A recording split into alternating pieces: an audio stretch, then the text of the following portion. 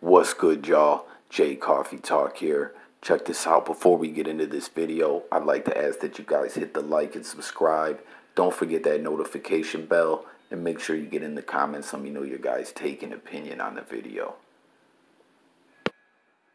So check this out, man. Um, Nipsey Hussle's team has decided it's time to um, get rid of the memorial in front of the Marathon clothing store they said it's just become crazy. Uh, they actually used the words like it's like a three ring three ring circus out there. Um, you know, people out there selling uh, bootleg shirts, food trucks everywhere. You know, trying to capitalize off how many people come there and, and, and you know make money off that. Um, hood tours. There's people out there like I'll take I'll give you a tour of the hood. You know, if you got that bread. So they're just saying you know it's not um, a proper way environment to honor Nip anymore. So they're gonna get rid of it.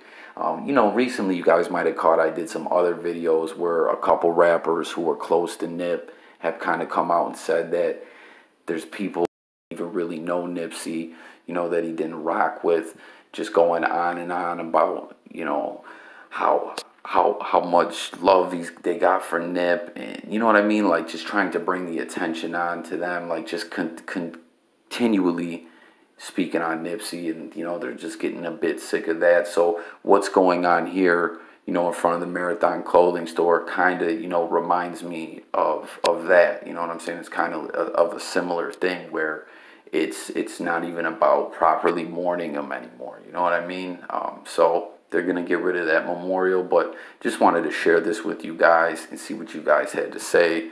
So jump in them comments, guys.